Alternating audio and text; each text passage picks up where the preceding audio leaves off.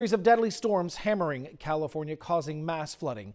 Neighborhoods are underwater as thousands of people are evacuated, just as they do during our hurricanes. Crews out of Keesler Air Force Base are flying into those winter storms. Bill Snyder explains. So it's a pretty quiet yet chilly morning here in South Mississippi, but as the sun comes up here out in California, those storms continue to roll into the coast.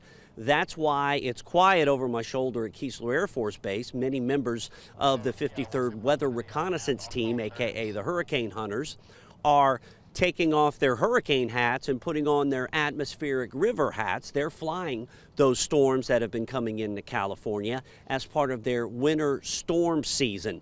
That runs from November 1st to March 1st. And by the way, those atmospheric rivers they talk about, they can hold as much as 25 times more water than the Mississippi River, except it's at 10,000 feet. And lately, as we've seen, they can cause damage. That's why our teams from Keesler Air Force Base, the Hurricane Hunters, are working those winter storms much like they do here during hurricane season. In Biloxi, Bill Snyder, WLOX News Now.